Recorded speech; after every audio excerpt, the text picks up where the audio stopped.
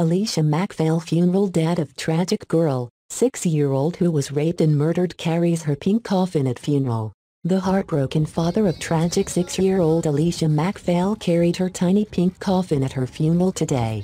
The schoolgirl, who was found dead at the start of the summer holidays while staying with relatives on the Isle of Bute, was laid to rest at a ceremony attended by hundreds of people dressed in pink. A 16-year-old boy was charged with rape and murder following the discovery of Alesha's body in Woodland on July 2. Alesha's father Robert MacPhail and mother Georgina MacPhail looked devastated as they left her funeral, where the young girl was described as the brightest thing.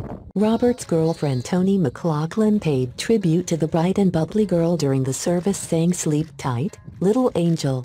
After the ceremony Alesha's father Robert and Uncle Calum were among those who carried her little pink coffin to a waiting hearse. A white carriage drawn by two white horses with pink feathers and pink drapes a beautiful pink and white wreath saying daughter and a white wreath saying sister, which was covered in multicolored flowers and butterflies, could be seen outside the service at MacGregor Coats Funeral Home in Coatbridge, North Lanarkshire. Heart-shaped wreaths featuring emotional tributes, a cuddly purple unicorn and Despicable Me 2 and Minnie Mouse ribbons were also placed outside the funeral home. Mourners were pictured wearing pink ties and a pink coat, alongside a banner featuring pictures of Alesha and the message Our Forever Shining Star, Our Little Angel, always in our hearts.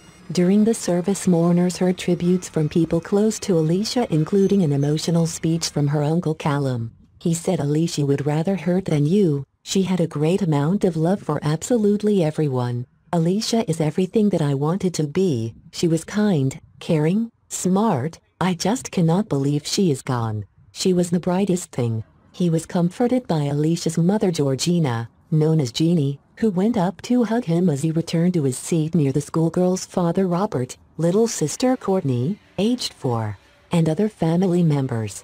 Mr. MacGregor also said that Alesha was fascinated by bubbles and had always wanted a bubble party on her birthday.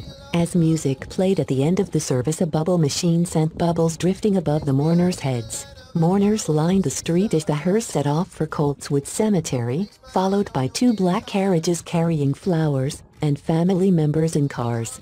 Her bright pink coffin was carried to a white horse-drawn carriage by men wearing kilts. As people gathered to watch the horses wearing pink feather headpieces and pink blankets pull the hearse's bagpipes played in the background. Alesha was staying with relatives on the island, in the Firth of Clyde, at the start of the summer break when she was found dead. MacGregor family funeral director said in a statement on Facebook earlier with great sadness and heavy hearts we respectfully announce the funeral arrangements for little Alesha MacPhail. Following this, Alesha will be taken to her final resting place in Coltswood Cemetery. Alesha's family would welcome and be comforted by the attendance of anyone affected by this tragedy who wish to pay their final respects.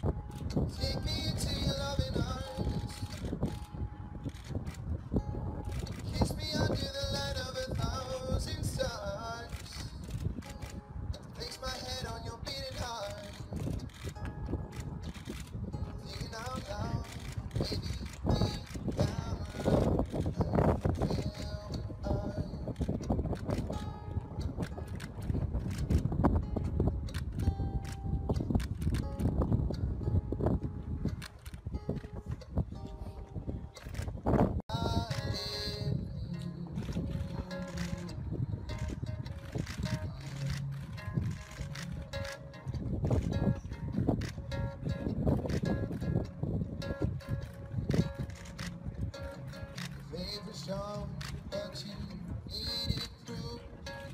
Saw her bathing on